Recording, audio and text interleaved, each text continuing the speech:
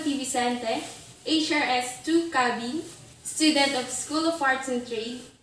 As you can see, I'm wearing chef uniform, hand gloves, face mask, and an apron.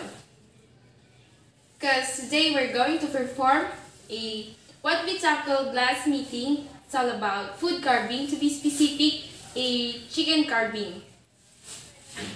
In performing chicken carving, you're gonna need a roasted chicken, uling roosters of your choice, carving pork, but I'm gonna using a D alternative, which is dinner pork, a cutting board, carving knife or a sharp chef knife, paper towel, and kitchen towel to keep your hands dry.